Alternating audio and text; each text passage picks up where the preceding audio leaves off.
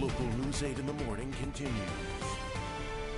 Hey, welcome back. It's now 657. Here are your three things to know this morning. Number one, three local fires are forcing people to evacuate. For the Ross Fork fire, the evacuations are for Pettit Lake Road and Cabin Creek Road, and Smiley Creek, Sawtooth City, Beaver Creek, and Alturas Lake. Zones 1 and 11 around Salmon are evacuating from the, from the Moose Fire, with zones 12 and 13 on standby. And for the two and a half fire near Fort Hall, people living along Ross Fork Road and Simplot Road area have been evacuated. They are being taken to the Shoshone Bannock Hotel. Number two, the Fort Hall Reservation is still under a burn ban issued by the U.S. Environmental Protection Agency. There is no open burning allowed anywhere on the reservation until further notice. And the Fremont County campfire ban has been extended to next Friday, September 16th. And number three, Taylorview Farm in Idaho Falls is inviting the community to come out and help harvest potatoes for the welfare program of the Church of Jesus Christ of Latter-day Saints. The 4,000 acre farm helps feed over 1,500 families a month with, their, with all of their donations. We can find these stories and more on our website, localnews8.com, and be sure to download our Local News 8 app.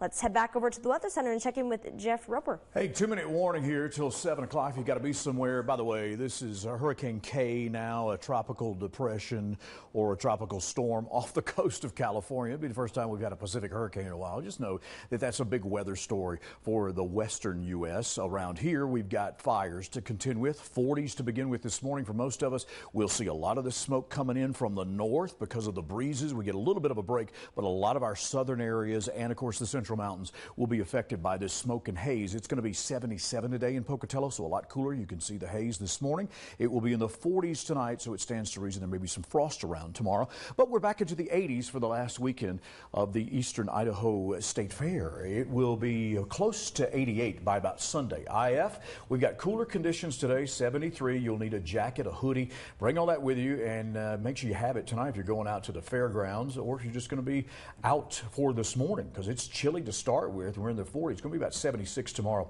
What mispronunciation just drives you crazy?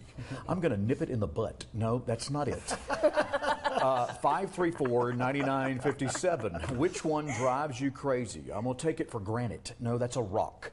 534 9957. There's some new words in the Merriam Webster Dictionary. Pumpkin spice has been added. You'll be Ooh. happy to know it's a real thing. Nice. Yeah, it's in there. Yeet. Yeet. uh, that's outstanding. People love it. That's a happy expression. Sus is suspicious, much like criminals. Laggy means, well, that's a lot of people we know. And then janky, that's, that's not good. And then adorkable is socially awkward awkward, but yet still attractive.